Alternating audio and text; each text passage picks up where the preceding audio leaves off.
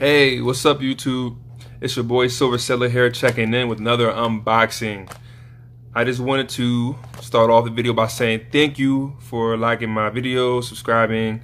I am now at like around 370 subscribers. I remember starting at zero and obviously every channel starts at zero, but I just wanted to stay, th say thank you. Um, I am very, very happy that you will follow me on my journey and we can kind of go through this whole silver and gold precious metals uh, accumulation together. All right, so let's do this. I taught about this on a previous video, so I was able to sell some products on eBay. So uh, I was able to get a reward.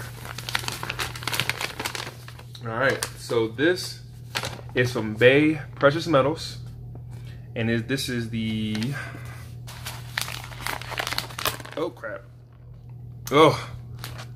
Whew. Almost cut myself. All right. So um this coin has a limited mintage of 50,000 coins. And this is the boom. Look at that This is the 2017 Cayman Island Marlin. And look at it in all its glory. See the waves, wave pattern.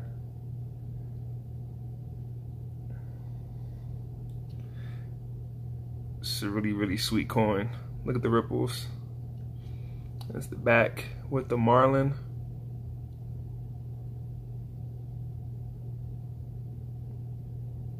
I thought this was like a really unique coin. Really sweet.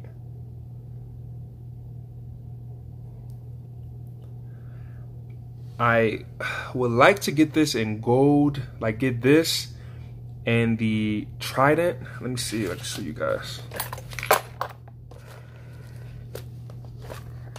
I would like to get that and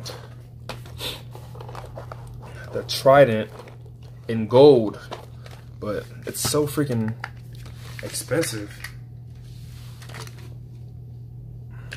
Where is it at?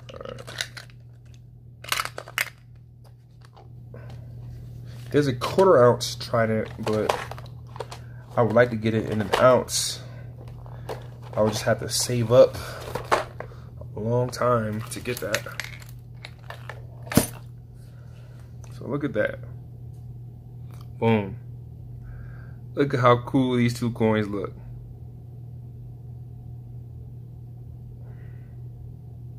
I love them both. Just getting, you know, one of them in your collection, I think that may satisfy your hunger, but it's a really sweet coin. Both of them.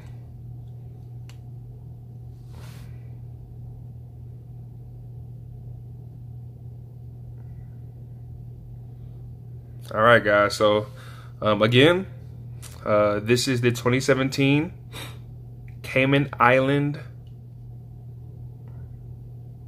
Marlin. This is the 2017 Barbados Trident. These are two very, very unique coins.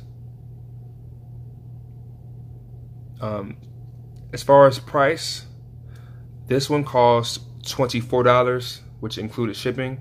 And right now the price of silver is about $15.50. So that means I paid a lot over spot for this coin. And pretty much the same for this, $24 with it, including shipping. Uh, but I don't buy a lot of coins um, that are above spot. So every once in a while, I like to buy one just to see what they look like in person. Well, all right, guys. I will talk to you later. Um, again, I want to thank you for liking and subscribing. And uh, keep stacking.